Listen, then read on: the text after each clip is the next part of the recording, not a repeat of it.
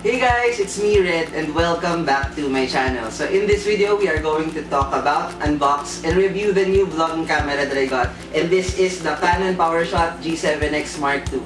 I also bought this. This is the Joby GorillaPod Action Tripod. And actually guys, last month ko pa nabili yung mga to pero ngayon ko lang nagawa ng unboxing video kasi ang dami kong vlogs na pinost process and actually nagamit ko na rin sila dun sa mga vlogs na yon which is yung Inflatable Island vlog and yung Easter vlog. So kung hindi nyo pa sila napapanood, I will be putting their links down in the description box. So be sure to check them out. But anyways, let's go back to the topic. So many of you might heard about this tandem already because many YouTubers locally and internationally use this for vlogging. There are of course other cheaper options but I opted for this too because I heard great reviews regarding them. So without further ado, let's unbox these babies. So let's open this Joby GorillaPod Action Tripod first.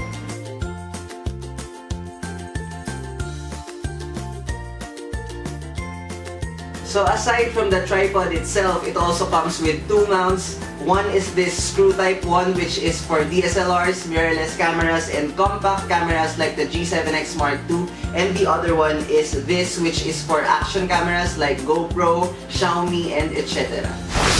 So what I love about this Joby GorillaPod Action Tripod is its flexibility. You can use it as a selfie stick or a monopod. You can use it as a tripod and I even saw some vloggers put it on their shoulders and on their heads and on a tree. Basically, you can do whatever you want to do with it. So that's how versatile this tripod is and not to mention how good its quality is. I also like the fact that it has rubber grips around these bolts because these things prevent my camera from slipping or sliding whenever I'm vlogging while driving.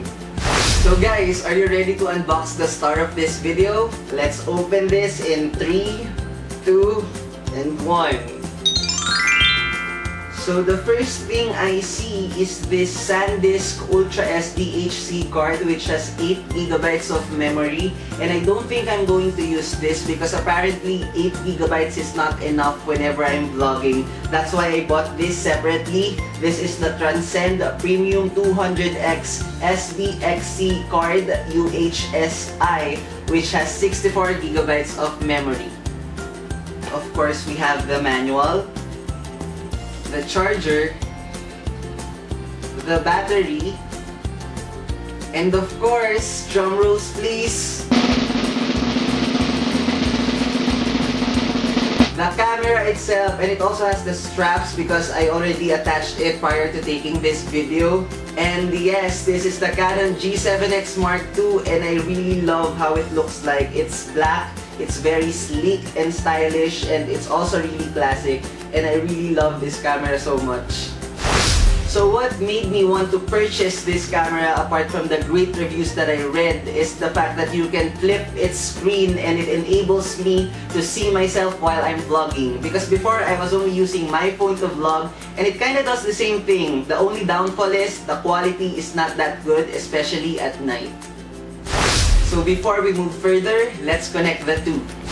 It's very easy to attach the camera to the tripod because all you have to do is take this mount and you just basically attach it at the bottom of the camera. You can just use your fingernails to screw this up but I prefer to use a coin because it just makes it so much easier. So after you tighten the screw, you just take the tripod and you just basically slip this together.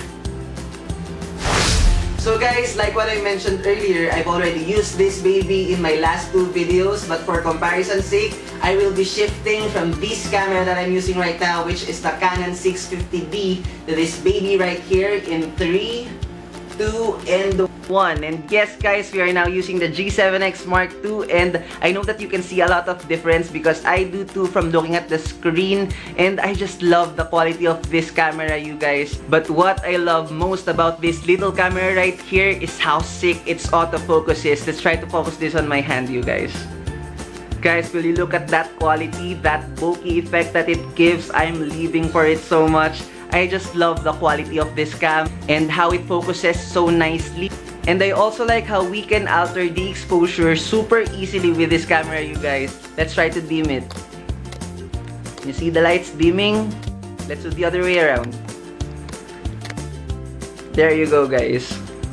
Based on my experience, this camera does not only take good videos, but also good photos. These photos that you see were actually taken by me using the G7X Mark II. And look at that quality, you guys. These photos look as if they were taken using a DSLR or a mirrorless camera with an upgraded lens. So overall, I just love this tandem so much and I can't wait to use this in all my travels this year. So that's it for today's video you guys. I hope you enjoyed this and I hope this was helpful because if it is, don't forget to give this video a thumbs up and subscribe to my channel if you haven't. Also, some of you requested for a Q&A video, so if you have any questions for me, do comment them down below and I will try to answer them all. Thank you so much for watching and see you on my next video. Bye!